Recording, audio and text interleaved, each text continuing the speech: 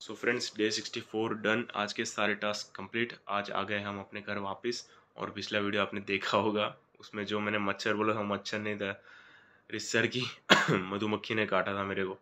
सो so, एकदम सट्ट देके जो उसने डंक मारा गजब का क्या बोलते हैं मेरे को तब पेन हुआ तब तो कुछ नहीं है।